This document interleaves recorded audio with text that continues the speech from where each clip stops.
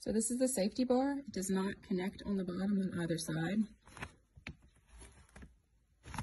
Just saying, does not take much for that to pop off.